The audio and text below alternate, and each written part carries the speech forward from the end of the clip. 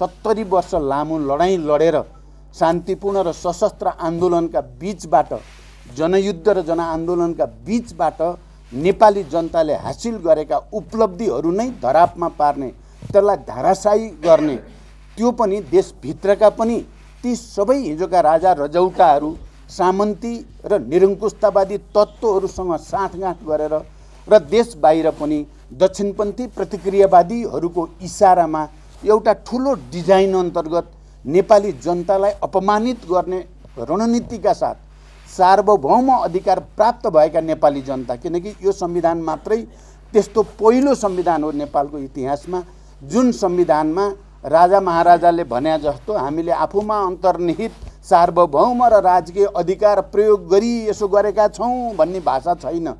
यहाँ हामी सार्वभौम नेपाली जनता आफ्ना प्रतिनिधि मार्फत संविधान सभा मार्फत यो संविधान जारी गरेका छौँ भनेर पहिलोचोटि नेपाली जनता सार्वभौम अधिकार सम्पन्न भएको र नेपाली जनताले आफ्ना प्रतिनिधि मार्फत पहिलोचोटि संविधानको घोषणा गरेको यो संविधानमाथि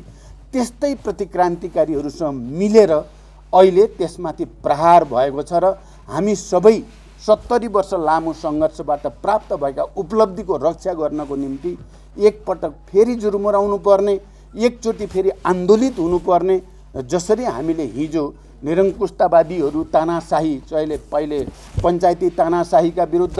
राजावादीहरूको तानाशाहीका विरुद्ध हामीले लड्यौँ र त्यसलाई परास्त गऱ्यौँ अहिले केपी ओलीको निरङ्कुशताका विरुद्ध उनको स्वेच्छाचारिता र अराजकताका विरुद्ध उनको कम्युनिस्ट आन्दोलनलाई नै धाराशाही पार्ने प्रतिक्रान्तिकारीहरूसँग मिलेर आफ्नै साथीहरू आफ्नै